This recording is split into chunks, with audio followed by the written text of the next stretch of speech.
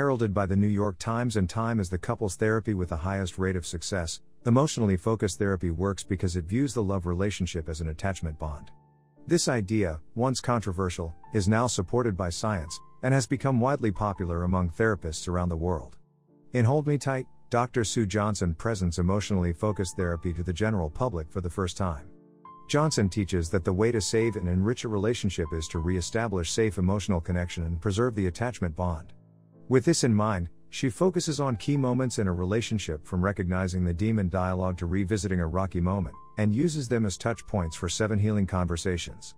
Through case studies from her practice, illuminating advice, and practical exercises, couples will learn how to nurture their relationships and ensure a lifetime of love. Hands down, the best relationship book I have ever read.